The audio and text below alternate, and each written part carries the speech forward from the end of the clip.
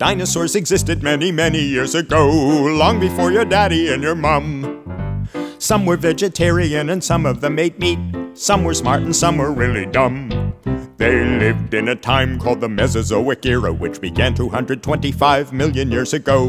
Why they disappeared isn't absolutely clear. Dinosaurians hypothesize, but no one really knows.